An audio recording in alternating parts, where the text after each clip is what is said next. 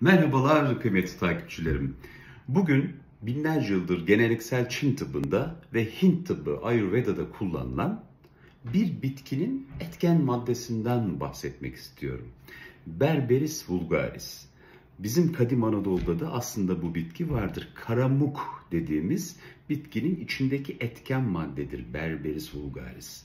Peki Mehmet Hocam bugün bize neden Berberis vulgaris hakkında bilgi veriyorsun? Çünkü çok fazla soru gelmeye başladı. Hangi noktada? Özellikle soru şu. Hocam kolesterollerimi ölçtürdüm. Total kolesterolüm çok yüksek. 200'ün üzerinde. LDL kötü kolesterolüm 130'un üzerinde hatta 180, 190, 200'lere geldi. Ve ben kolesterol düşürücü ilaçları kullanmak istemiyorum ya da kullandım yan etkileri var gibi bu çeşit sorularla beraber başka alternatif yok mu diye bana yazılıyor. Bakın bu noktada tabii ki sizi takip eden hekimin rızası ve kontrolünü almak şartıyla biz kötü kolesterolü düşürmek, total kolesterolü düşürmek noktasında size bir alternatif sunuyoruz. Berberis vulgaris. Bunun 500 mg'lık kapsülleri var.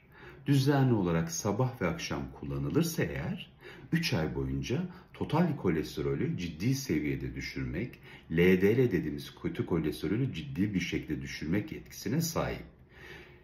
Diğer taraftan bu ilaçla ilgili başka söylemek istediğiniz var mı derseniz bu ilacın başka etkileri de var.